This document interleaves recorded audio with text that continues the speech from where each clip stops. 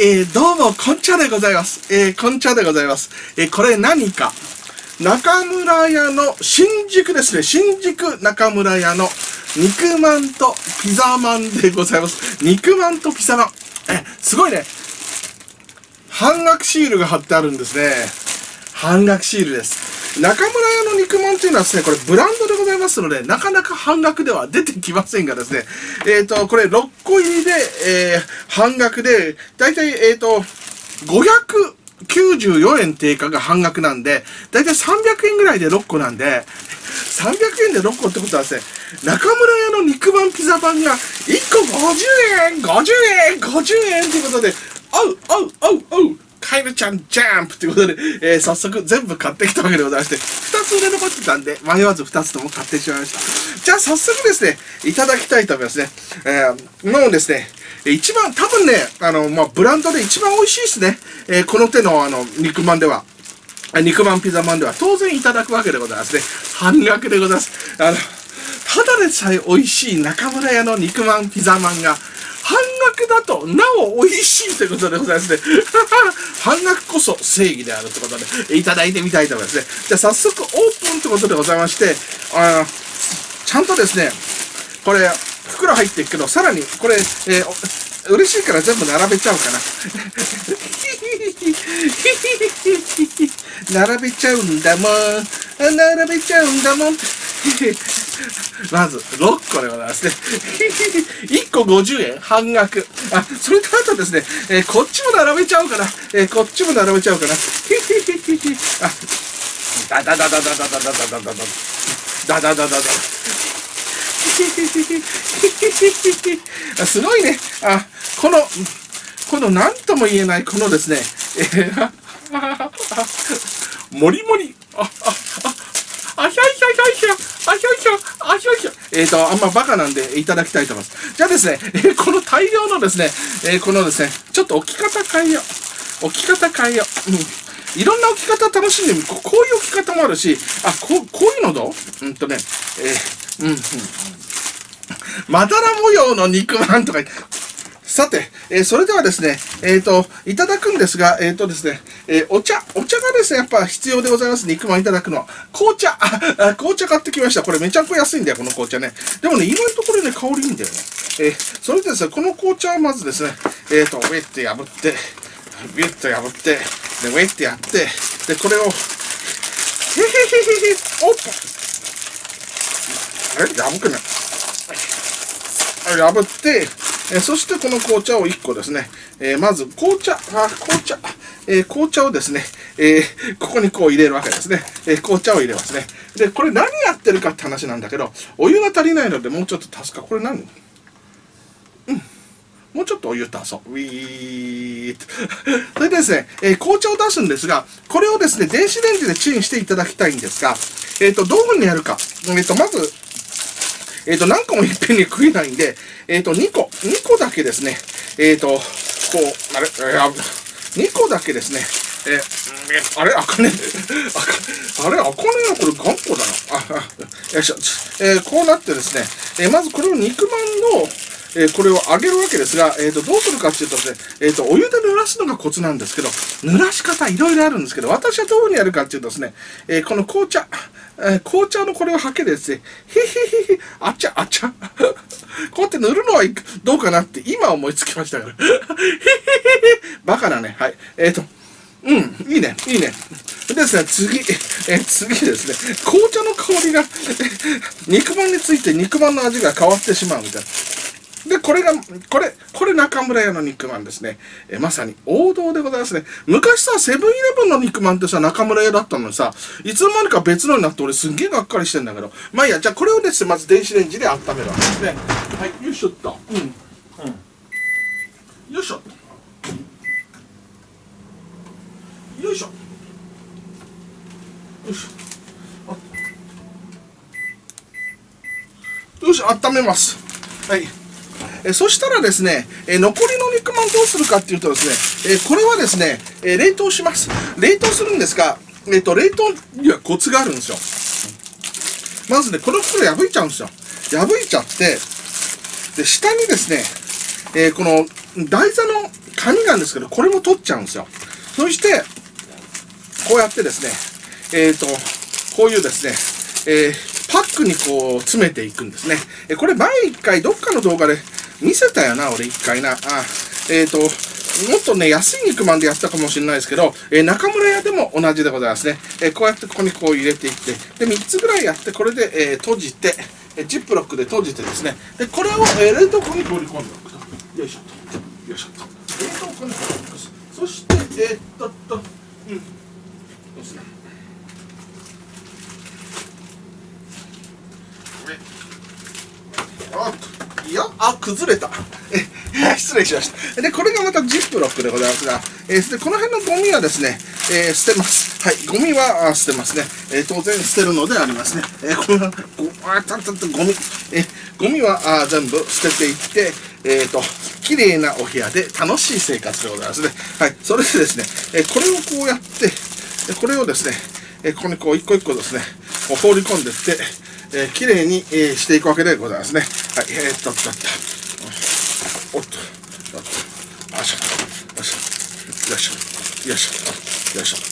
あっとっとっと。もうそろそろできたかしら。なんかこれさ、あの、カルメラみたいだよな。なんかこういうさ、なんか、駄菓子屋で食うカルメラとかあったじゃん。あれと似てるような感じね。あ、あ、あ、あ、あ、ね、うん、うん、うん。まあ、あ、変、あ、変なこと言おうと思ったけどやめた。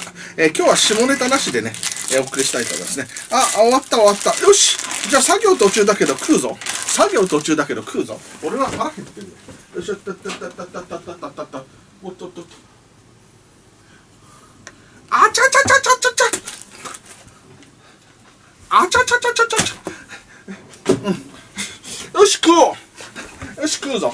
うん、ちょっとね、失敗しました。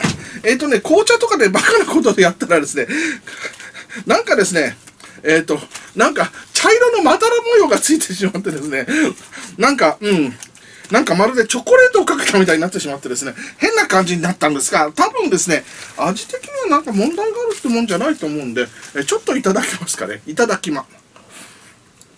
うん。うん。あ、ちょっと紅茶の香りがする。うん。バカだな、俺。うん。でも中村屋の、でもね、他ほ、やっぱね、水分こうやってかけるとね、まあお湯でいいんだけどね、紅茶じゃなくてね。あちゃ、あちゃ、あ、あちゃ、あちゃ、うん。うん。熱かった。うん。ガチで熱かった。うん。あのね、うん。あらあらあらあらあら。あら。うん。うん。やっぱさ、本当この中村屋の肉まんってうめえよな。俺いつも思うんだけどさ、うん。うん。本当に中村屋の肉まんがね、美味しいと思う、俺は。うん。な、なんでさ、うん。うん。なんで、うん。セブンイレブンは中村屋の肉まんをやめてしまったのかみたいな。多分ね、高いからだと思います。はい。うん。だからこれ1個50円だからね。うん。うん。たまに起こる奇跡なんだよね。たまにね、半額で売ってることがあるんだよね。だから俺は迷わず買うね。うん。本当にね、久しぶりに見た。中村屋の肉まんの50%分って。うん。もう、2つ余ってたんだけど、迷わず2つ買った。うん。当然でございますね。うん。うん。うん、まあまあ、うん。うん。